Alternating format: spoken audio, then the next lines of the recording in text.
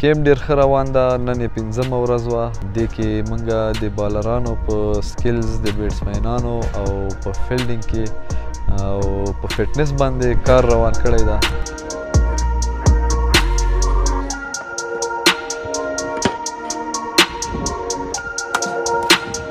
زمونږ دا کومه آمادګي چې روانه ده د پاکستان لوبو لپاره نو دې آمادګي نه معلومیږي چې ان شاء الله پاکستان سره ډېر ټف لوبي کیږي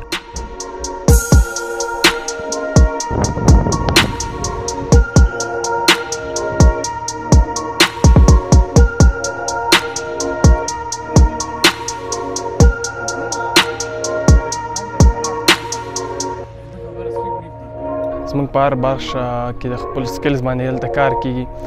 ډیر خوشاله یم چې دې کیم کې مې ګډون کړی او ډیر څه زده کوم دلته د کوچز او پلیرانو نه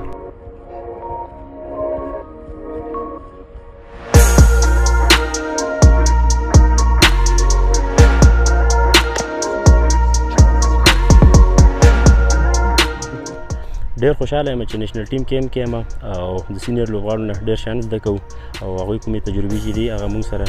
شیر کوي